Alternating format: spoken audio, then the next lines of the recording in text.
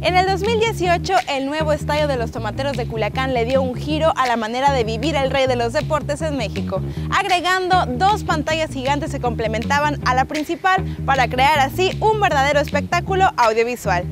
Es por eso que hoy en Esta es tu casa vamos a conocer las pantallas.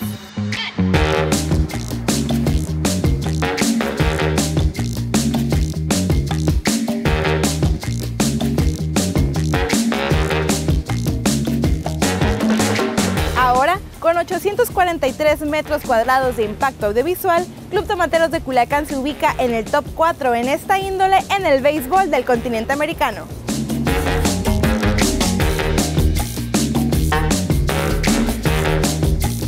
Bueno, cuando hay un partido de béisbol, el público que viene a esos partidos nada más se da cuenta de lo bonito, de la, de la parte bonita de las pantallas, por así decirlo.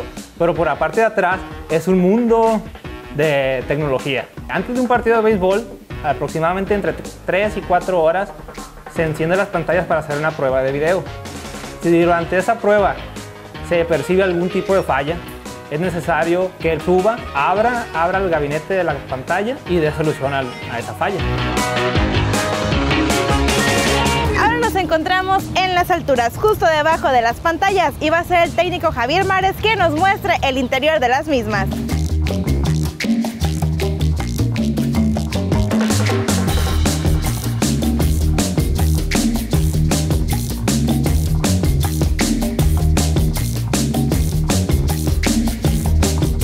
En estos momentos Javier está detrás de esa pantalla, pero la ubicación precisa no la tenemos. Javi, no sabemos dónde estás. Ahí está Ponchito buscándolo.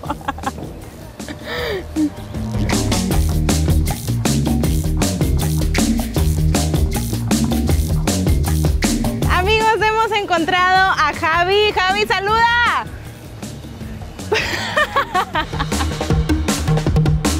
Y porque la mejor afición del béisbol mexicano merece lo mejor, la Nación Guinda disfruta de esta gran experiencia cada encuentro en casa. Esto fue Esta es tu casa para Tomateros de Culiacán, Valeria Cota.